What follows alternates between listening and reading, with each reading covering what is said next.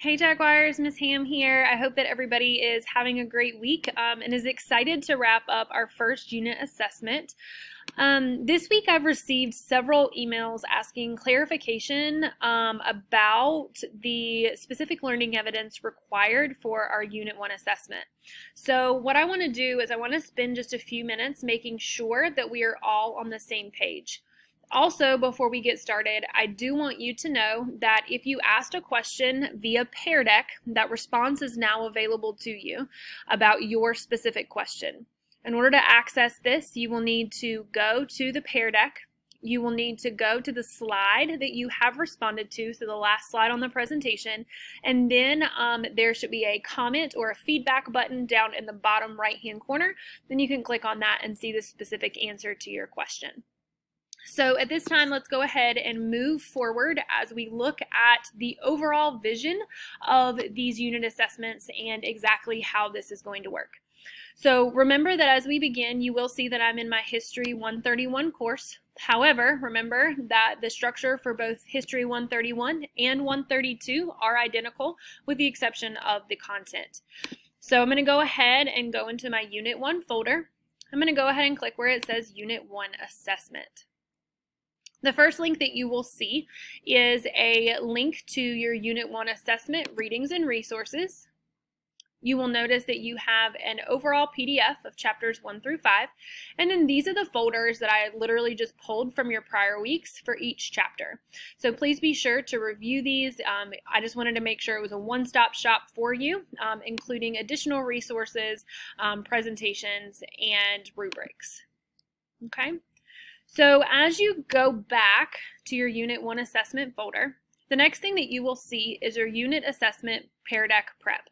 What this is going to do is this assignment was supposed to be due yesterday, which is Wednesday, and this is an opportunity for you to really brainstorm what you are actually going to include in your presentation. We will be talking about these revised deadlines at the end of the week or at the end of the presentation, but I do want you to know that the, the deadline for this assignment will be extended. Okay, in order to create quality work, it is important that you take the time to do quality brainstorming. So in this assessment or in this uh, in this Pear Deck prep assignment, what you're going to do is you're putting in the back work as you prepare your first unit assessment. So let me go into some of the specifics about what you can expect to as you are completing your Unit 1 assessment. Before we get started, I do want you to know that the vision of these unit assessments is to help you work smarter and not harder. At the end of this course, you will be required to complete what is going to be called a final presentation of learning. In that presentation of learning, you are going to be looking at the entirety of your work this semester, and you will be required to use artifacts and evidence to support your understanding of American history based on the driving question for your course. This video presentation will include a slide deck as well as will include a 10 to 15 minute recorded video of you presenting your learnings, your learning outcomes, and your takeaways from this course. Now, in saying this, your unit assessments are literally going to build for you that final presentation. So here is what it is going to look like. For Unit 1, you are required to complete your Unit 1 assessment. This will include a visual presentation, so some type of visual presentation. I don't care if it's through Canva, if it is through Slides Carnival, if it is through Prezi, if it is through PowerPoint, however you want to do that is fine, but you should have a visual presentation to go along with your video. This visual presentation will include key learning artifacts that represent your understanding of the driving question as it relates to the lens of history that you are focusing on. And we'll get down to that in just a minute. Once you've built your slide deck, then you will record it and it will include a variety of examples of learning evidence, a minimum of two examples, and will it be a multimedia presentation that will include images, audio, and or video. This recorded presentation should be approximately three to four minutes in length. So what's going to happen is that as you are building up, You should have a Unit 1 assessment that's 3 to 4 minutes. You should have a Unit 2 assessment that's 3 to 4 minutes, and then a Unit 3 assessment that's 3 to 4 minutes. So as you're working on that final presentation of learning, you should have about 15 minutes of material already pre-built for you. Now, for the unit assessment, you are required to focus on one lens of history. How you will do that is you will think about your material that you have focused on over the past couple of weeks.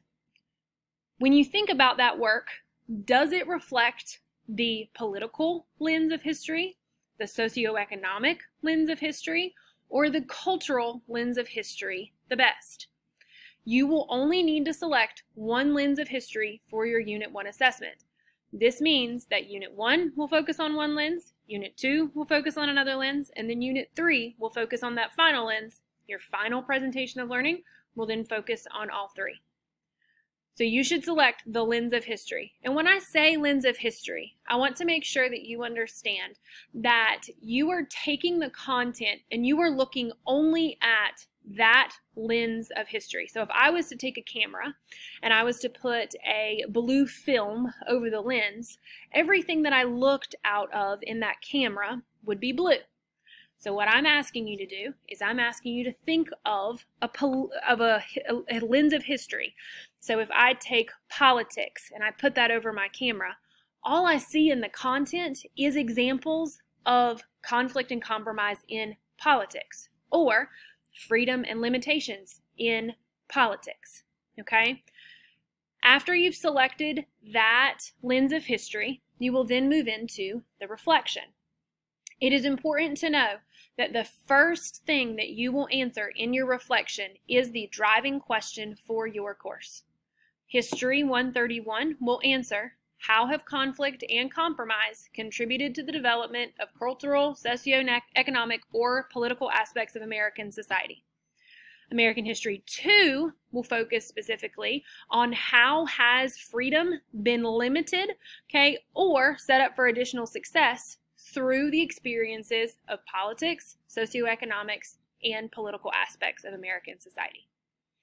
You will also focus specifically on the most significant pieces of knowledge that you've gained through Unit 1. You're going to talk about what you will do with this knowledge, and then you're also going to reflect on your personal journey. This should be very, very familiar to you because you do it each and every week. Okay? When you are finished with this final assessment, again, you have a slide deck that you are going to present, okay, in a three to four minute recorded video. You will take this link and you will submit it directly into this week five unit assessment folder. Then, when you move into Unit 2, you'll be adding on to this presentation so that when you're done, you have a full final presentation of learning for the entire course in one place. I hope that this helps, guys. If you have any questions, please don't hesitate to reach out for clarification. I am here to support you in any way that I can. I am extremely thankful for you and proud of you, and um, I'm looking forward to continuing to work together um, along this journey. Thanks so much, guys. Have a great weekend. Bye.